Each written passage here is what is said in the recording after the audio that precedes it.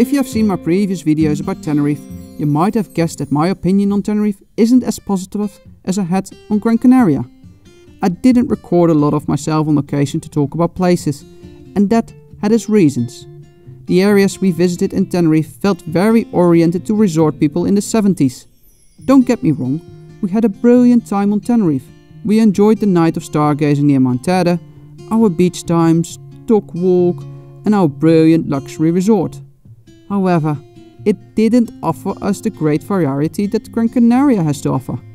Gran Canaria felt authentic to us.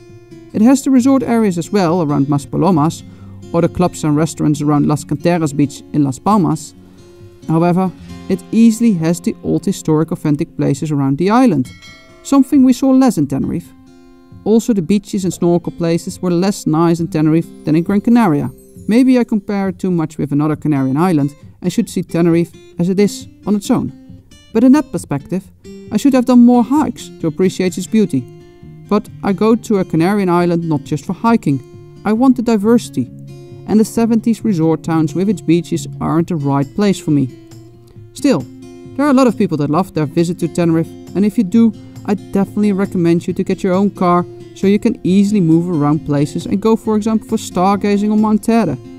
But for me, I think the main thing I missed was the nice authentic towns as a change to the brilliant nature and okay beaches.